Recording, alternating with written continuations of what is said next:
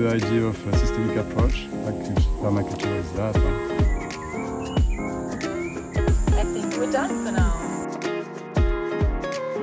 Uh,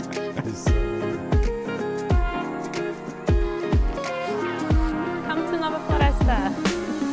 Hi, I'm Stefan. I'm the founder of Anova Floresta and I will uh, present here a video about uh, the permaculture we are doing here. Anova Floresta is a center for teaching permaculture. It's a school. This land where we are was desertified, the soil dead, and we applied various methods of reforestation and soil regeneration in a tropical climate. Proud of the success and willing to share all the theoretical and technical knowledge acquired during these years, we propose now two different PDCs, one in English and one in Portuguese from Brazil. Our PDC, Permaculture Design Course Certificate, of three weeks combines 80 hours of theory and pedagogical practice. It takes into account the latest discoveries in soil microbiology and plant microbiome and gives a preponderant place to carbon farming with agroforestry and biochar production, water management and soil regeneration. So why doing practice as well? Why three weeks instead of two weeks, which is a general uh, proposition of, uh, for doing PDC? Is because here we, we create a bridge between the fundamentals of systemic approach, biomimicry, closed loop, site design, process management, and various practical activities like agroforestry, green building, animal care, landscaping and gardening. This bridge between the theory and the practice is very important. And even in practice, we explain why we do uh, such practice, what are the fundamentals. I want to present here an example of site design with a 4D platform used by the students during the PDC, a concept I have developed based on the systemic approach, the main foundation of permaculture methodology. The idea is about a realistic context and ease of manipulation to do this design.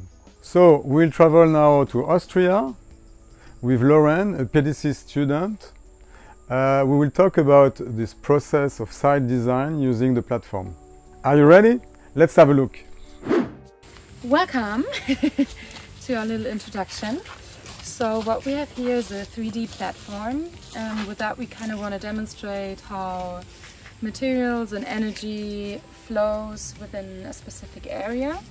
Um, yeah, the 3D really helps to see where, for example, water would go, um, what areas would be shaded by the sun, if we have a mountainous area just like this one. Um, I'm gonna talk you guys through um, our process of thinking and what we've already kind of constructed in year one. We get really strong winds. Also the sun rises here and sets there. We kind of have to think where do we get the most sun because we don't have a lot of time in the year with a lot of sun. Obviously here it's quite easy to see. The water would come from the mountains and would go down areas like this. So the water would always go down here or would go down here, which is really important for our second step when we want to build a house. We would want to build it below the pond so that the na uh, water naturally flows down to my house and I don't need any, uh, any more energy to get water to my house. And also what we kept in mind in section one, so really close to the house where I want to um, grow my vegetables, it's also really easy to get water to this area where I would probably have my vegetables. And since the water is going down this way, it's super easy and this whole area will probably be pretty wet. So in the next year or in the next two years when I want to build or grow vegetables, this would be a really good and easy area close to my house with a lot of water and also a lot of sun that I could build vegetables. So um, thinking about you too and realizing that I was gonna want um, animals in the future, we went back to year one and arranged a few things. So for example, I put a few trees on this side because this is gonna be my animal space in the future. Um, I thought about the animal barn being here um, just so it's easily accessible from the house and therefore I'm going to need a few trees that could potentially feed the animals, give the animals some shade. So thinking about my year two, the only thing that I um, was going back to and, it, and changed is to put the vegetable garden from this side closer to my house. Okay, so we are in year three now. Um, some of the trees have grown. Um, first thing I would do is plant some new trees just along where my water flow is going to be. What I've also done is build a little dry toilet as you can see here with this. And also we built it behind the house so you can see the wind goes in this direction so we don't have the smell in front of the house or flowing into the house. So we, we built it behind the house. I did this in year three just so I have like two years of time to see where my water flows naturally, where I need it the most, which areas are already really wet on their own, um, how the water flows in extreme situations on days with a lot of rain or in spring when all the snow melts from the mountains. So I waited, I waited two years to, to really um, draw some conclusions on where, where to build it best. And this is what I've done after two years of watching over my site. yes. Okay, so we are in year four now. Um, first of what I did is lead the water in a little bit more of a curly line. Um, I've built some ponds along the way just to keep the water as long as possible on my ground. I planted some more trees. My animals have moved in finally, so this is the animal area. And last not but, but not least, I built some terraces just to make use of, of the hillside I planted some small trees at the bottom to fix it but not take away any sunlight and some higher trees in the back to fixate the ground as well. And back here I'm gonna do some terraces as well in the future. Um, yeah, I think it was a busy year and I think we're done for now. So I will present some of the elements of this platform. First of all, it's very easy to do. Uh, it's just sand, uh, then making a landscape. Uh, the miniatures here, they were done with plaster and paint, but you can buy them in a shop for, for children, uh, animals, trees, and uh, houses, whatever. The advantage of this kind of platform is that it's very easy to build. At the contrary of 2D drawing, it really shows the landscape and it put the designer in a realistic context, showing and the difference of uh, relief, meaning that um, you can analyze the flows uh, both because of the uh, different obstacles and you can analyze um, the wind, the flow of water uh, very, very clearly. And you really have a realistic context to adapt your design to this context that you cannot do very well in a, uh, in a drawing. And there we go. What uh, is very useful as well, it's, uh, it's very easily to modify. I want to, to change, I put here. I can modify very quickly. So it's really, uh, if you do a drawing on a 2D uh, paper, the problem is that every time you have to scratch everything, redo everything. It's very laborious. Here, very easy to modify.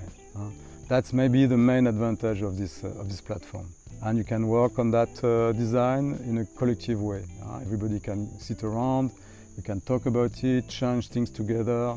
It's very about um, a systemic approach, uh, collective intelligence, uh, thinking together to find the best solution, the best design.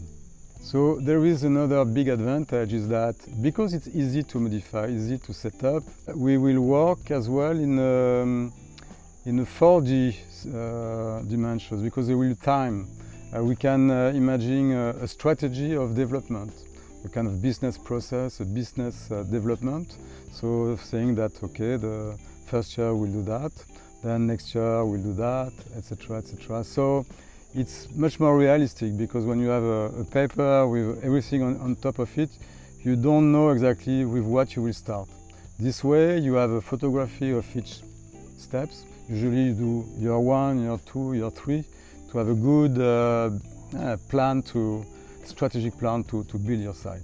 There you can make a design year one with a set of resources, set of money, uh, year two, year three, and so on. Uh, it's really the dynamic design. And because of this dynamic design, what happens is that you make a first design the, the first year, you make you make an evolution, year two, year three, and then year four you ah, but uh, it would be nice to do that. And then you see that your prerequisite is not good. You should have, for example, planted tree uh, in year one to allow a certain functionality to be set up in year four. So because it's easy to to go back, you can go back to your one. You add what you you you, you forgot to, to put at uh, at for year one to prepare your four. And so because of this easy way, easy process to manage a platform, you can develop something which is based on simulation. It's not computer simulation, it's manual situation, uh, simulation, but it gives you the possibility to try, test, come back uh, very easily to adapt to the situation. So then you will have, uh, in, in fine, you will have really um, a plan which is very realistic because this year, year one, year two, year three, you will really do what you have to do before to pass to the next year. Uh, this is very important uh, to be really realistic on that. And simulation is really one of the tools of systemic approach. Uh, complex system, how to, uh, to, make the best design based on a step-by-step -step approach to, um, to let the system be built with uh, intelligence and with um, capacity to, to see your errors if there are some errors. In the teaching of permaculture or the way permaculture is, is done, usually uh, people focus too much on the function and not on the process. Uh, when you do an activity, it's really uh, a set of, of steps and before to optimize the function, first you need to, to see, to, to size, to optimize the full process. And then after you do for each function, once you know what will be the flows, what uh, you will have to do for the full activity, what you, span, you can span on each function, function and, and uh, then optimize the function.